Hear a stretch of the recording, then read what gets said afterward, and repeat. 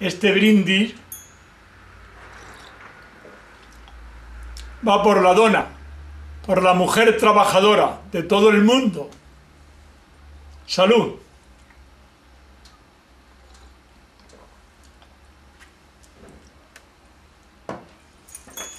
Ya sabéis que brindo con café.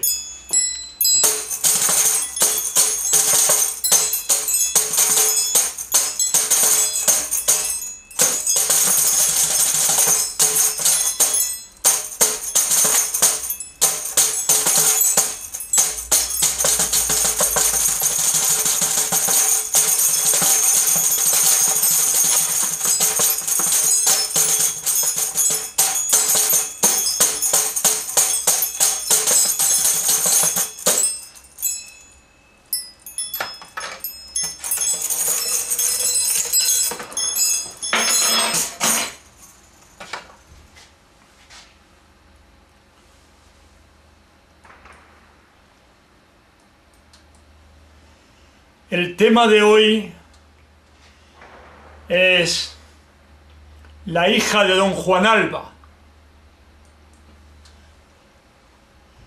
Sabéis que la hija de don Juan Alba quiso meterse a monja y se metió a monja.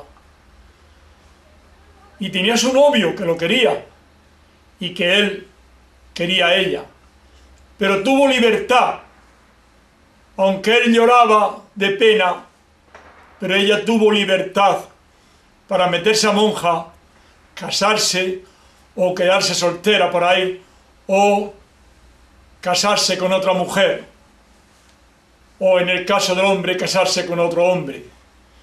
Esa es la libertad que nos da la vida, la libertad con la que nacimos, la libertad con que la hija de don Juan Alba nos ofreció. Y eso hay que agradecérselo porque ella deseó ser monja, como podía haber deseado ser ingeniera o, o como ahora se es astronauta, como ahora se lleva. Por ella va este tema de la hija de don Juan Alba.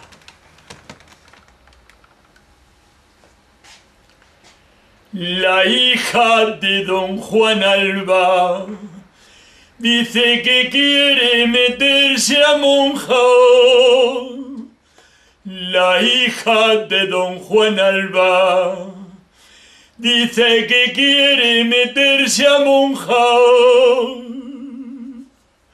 En el convento chiquito de la calle La Paloma. Dicen que el novio no quiere. Ella dice no le importa. Y se ha cortado el traje. Traje de novia. La hija de don Juan Alba dice que quiere meterse a monja. Cuando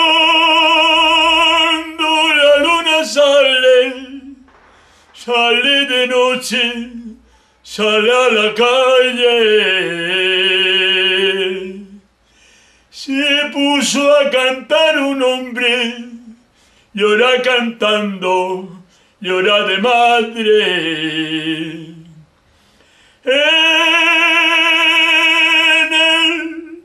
arco de la ermita ya no le espera, ya no le espera,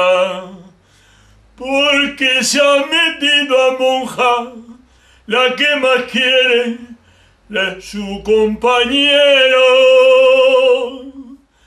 porque se ha metido a monja, la que más quiero, mi compañero. La hija de don Juan Alba en el convento de la Paloma. La hija de don Juan Alba en el convento de la Paloma. Dicen que sabe canciones de sus amores de moza Dicen que canta de noche, encerradita en su alcoba, y todo el mundo repite la canción de boca en boca. La hija de don Juan Alba en el convento de la Paloma. Cuando la luna sale, sale de noche, sale a la calle. Se puso a cantar un hombre, llora cantando, llora de padre. En el arco de la esquina ya no le espera, ya no le espera, porque se ha metido a monja, la que más quiero, mi compañera,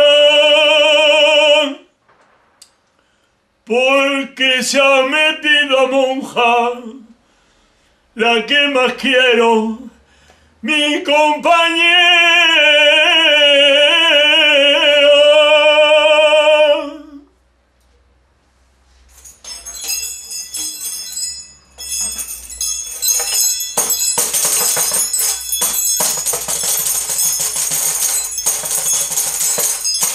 Sí, para que haya alegría el día de la dona, que se dice aquí en Valencia.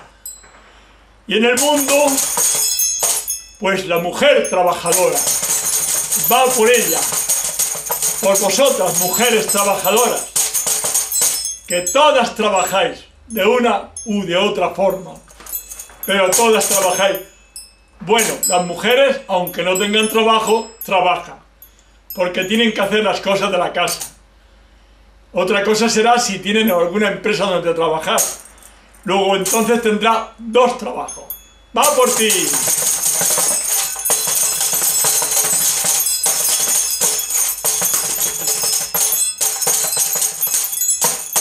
Gracias. Besos.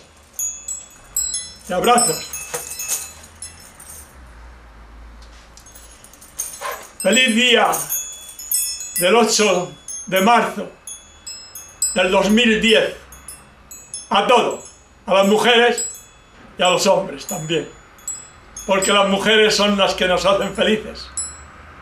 Gracias.